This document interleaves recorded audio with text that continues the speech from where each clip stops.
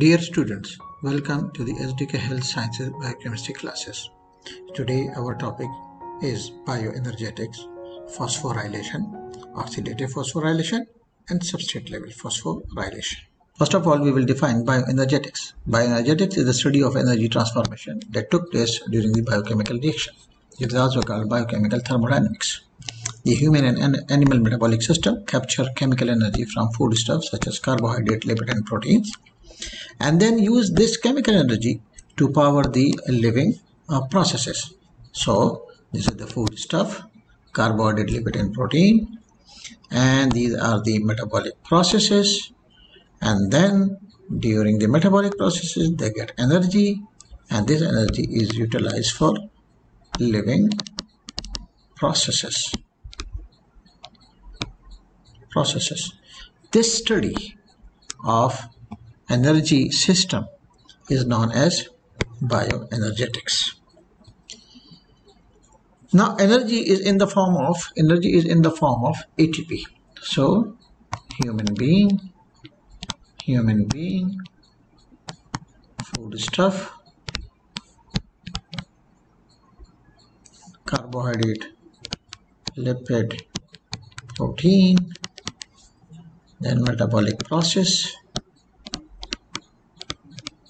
metabolic process then energy. This energy is in the form of ATP how we get energy? The process is called phosphorylation. Phosphorylation.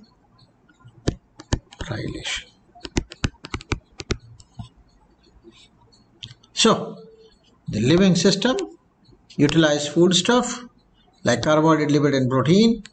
They put all these carbohydrate, lipid and protein into the metabolic processes. With the metabolic processes, they release energy. This energy is in the form of ATP. The process by which we get this ATP is known as phosphorylation. How many types of the phosphorylation are there? Two types of the phosphorylations are there. One is substrate level phosphorylation, another is oxidative phosphorylation. One is substrate level phosphorylation and another is oxidative phosphorylation. So let me summarize it here. Carbohydrate, lipid protein broken down in the catabolic process to water, smaller molecule, water, carbon dioxide and ammonia and release energy in the form of direct form that is ATP.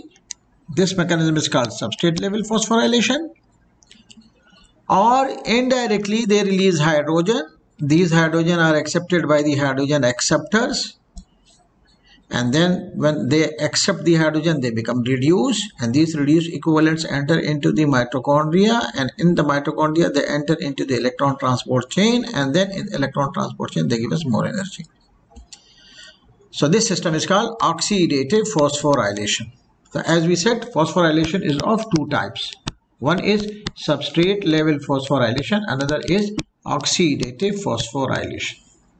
Oxidative phosphorylation. Now, substrate level phosphorylation, what happened here in the substrate level phosphorylation? The energy is generated at the site of the reaction. So, reaction in the reaction, A is converted, substrate A is converted into product B when substrate A is converted into product B with the help of some enzyme, this much amount of the energy is released that it attach inorganic phosphate with the ADP to form ATP.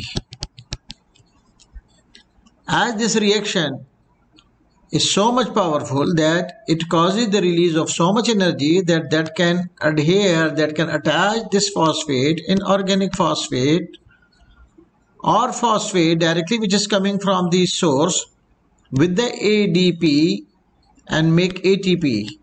This type of the phosphorylation is called substrate level phosphorylation. Substrate level phosphorylation.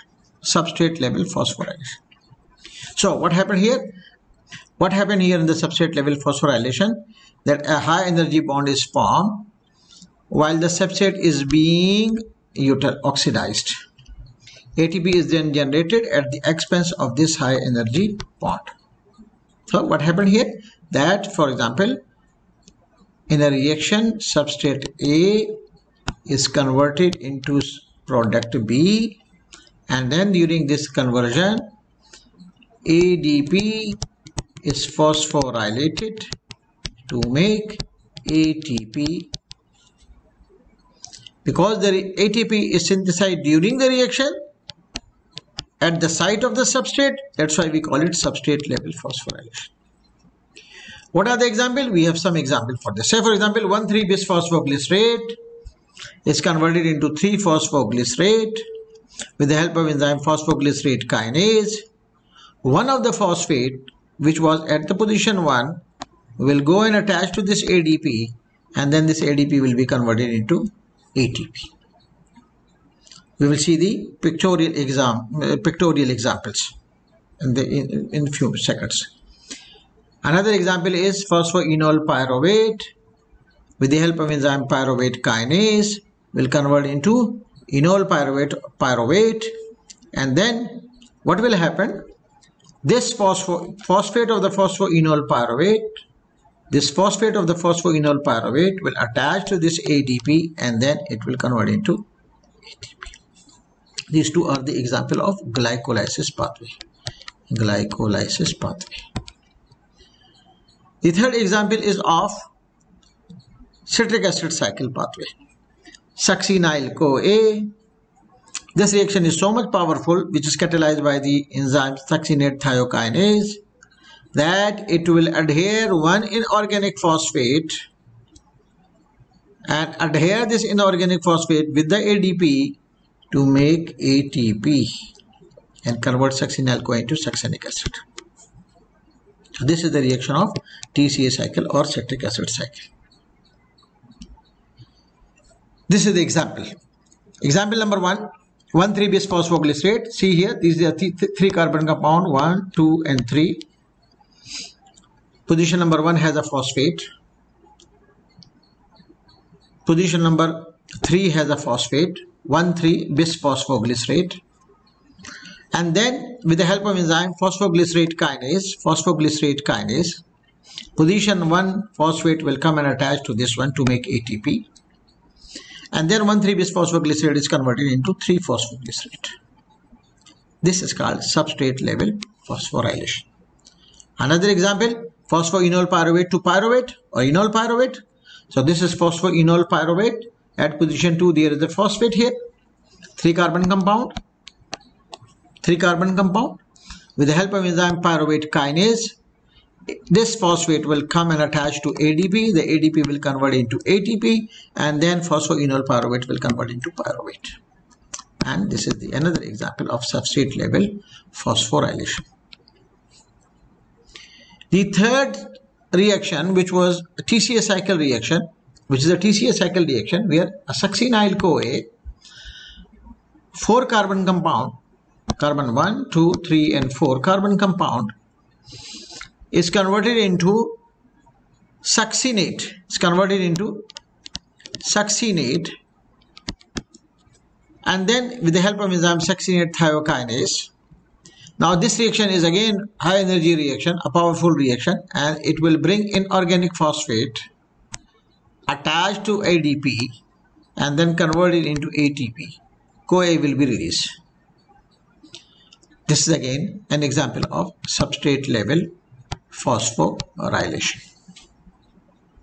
So we say that ATP is formed by the phosphorylation process phosphorylation and phosphorylations of two types. One is substrate level phosphorylation, another is oxidative phosphorylation.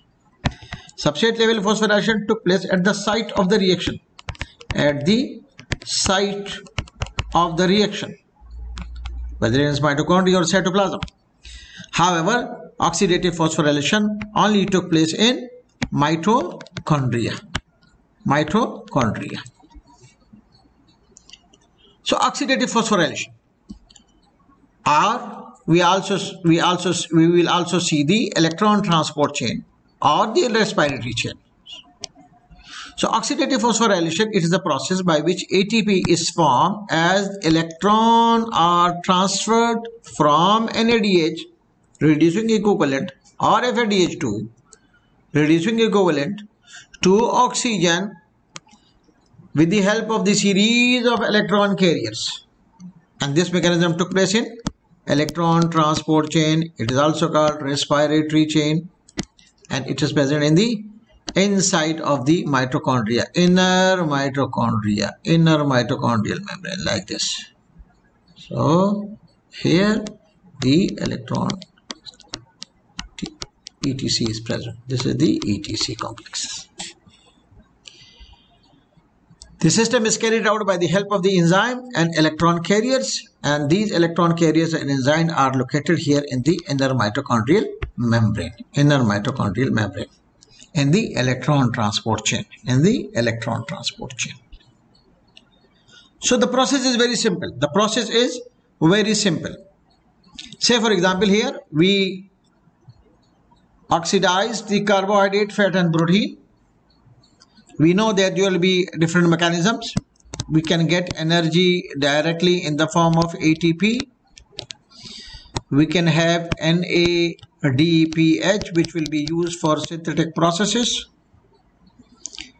the end product will be carbon dioxide water and ammonia like this but in the middle of the way, what will happen? Hydrogen will also be released as this we discussed earlier. And this hydrogen will be captured by the hydrogen acceptor like NAD and FAD. NAD will take hydrogen and will convert into NADH2, NADH and H. One is ionic form. Another FAD will convert into FADH, uh, FADH2. And then these reducing equivalents, if they are inside the mitochondria, there is no issue because they are also they are present in the mitochondria and then they will be they will enter into the electron transport chain and when they will enter into the electron transport chain they will release their hydrogen they will release their hydrogen and they become oxidized. So NADH will convert into NAD NADH will convert into NAD and FADH will convert into by releasing its hydrogen FAD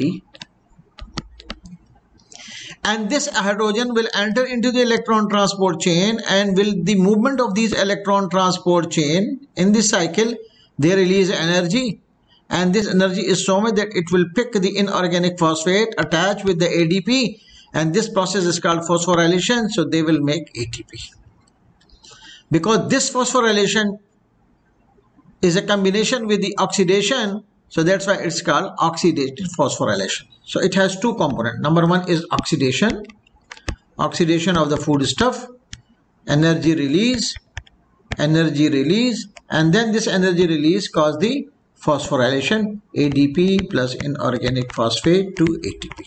So it is a coupled mechanism. It is a coupled mechanism. Oxidation plus phosphorylation. So this part is oxidation and the rest of the part is for the, the, the rest of the part is phosphorylation. So this is the example of oxidative phosphorylation. Here you can see that succinate, a four carbon substrate, with the help of enzyme succinate dehydrogenase is converted into fumarate, again a four carbon substrate. But here you can see here that hydrogen from here and hydrogen from here is taken up by the FADA and then FAD is converted into FADH2. In the next step what will happen that this FADH2 this is a reduced form of the FADH2 it will be oxidized to FAD by releasing its two hydrogen. And these two hydrogen will enter into the electron transport chain. And then they will move in the electron transport chain. And they will release energy. And this energy will be so much that it will cause the addition of this inorganic phosphate to the ADP, the process which is called phosphorylation to make ATP. As this mechanism is coupled with the oxidation and phosphorylation, that's why it's called oxidative phosphorylation. Dear students, so now what we have done up till now that we discussed the phosphorylation and we said that phosphorylation is of two types one is oxidative another is substrate level substrate level is at the site of the reaction and it is the production of ATP directly from the ATP production of ATP directly from the ADP either the phosphate is coming from the substrate directly to it or the substrate may be from the in the form of inorganic phosphate if the reaction is strong enough. However, on the other hand, we have oxidative phosphorylation. We are reducing equivalents and NADH and FADH2 enter into the electron transport chain and they move in the electron transport chain. They liberate energy and this energy, energy causes the addition of inorganic phosphate with the ADP and it makes ATP. In this type of the situation, 1 NADH give us 3 ATP, 3 ATP, whereas FADH2 give us 2 ATP. This mechanism will be very simple if NADH and FADH2 they are present in mitochondria so there will be no issue that these NADH2 and FADH2 will enter directly into the electron transport chain. And move into the electron transport chain their electrons will move into the electron transport chain and will give us ATP however if the NADH is outside this mitochondria in the cytoplasm so then in this situation we need to transfer this NADH2 into mitochondria Normally, this NADH is not permeable, cannot cross the mitochondrial membrane. So in this situation, we want to transfer the electron from this NADH to the mitochondria and it is done with the help of shuttle pathways. It is done with the help of shuttle pathways. Dear students, we will stop here at this point and in the next session we will discuss the shuttle pathways that how NADH is transferred with the help of the shuttle pathway into mitochondria. Just to let you know that there are two kinds of the shuttle pathways. One is malate shuttle, another is glycerophosphate shuttle. Thank you very much and best of luck. Kindly send us your feedback and comments. Your comments and feedback will help us to improve our next session.